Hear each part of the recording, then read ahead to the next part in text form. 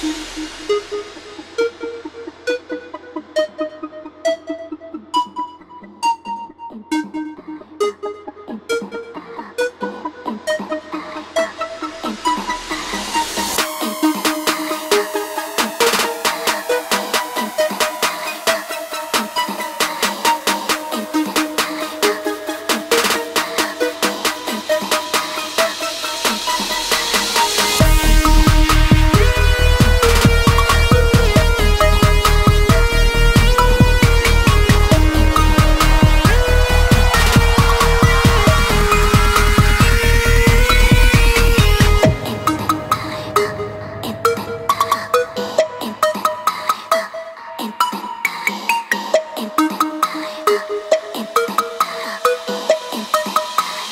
and may God give you his peace.